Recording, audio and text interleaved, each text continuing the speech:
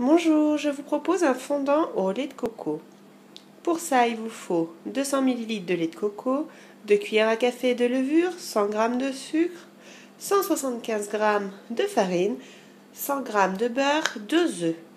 Vous allez tout mélanger d'un coup pour avoir l'obtention d'une pâte lisse.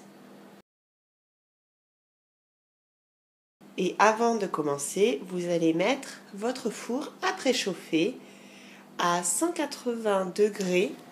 Là, j'ai tout mélangé d'un coup, comme je vous l'ai dit juste avant.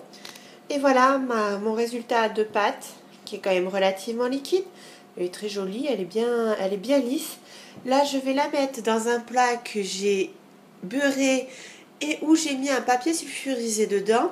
J'espère que vous n'avez pas oublié de mettre à préchauffer votre four à 180. Donc 40 minutes à 180 degrés. Allez, à tout à l'heure. Et voilà mon gâteau qui vient de sortir du four. Je vais le laisser refroidir et je le démoulerai après. Voilà mon gâteau démoulé. Je vais le couper en parts et nous allons le manger. Bon appétit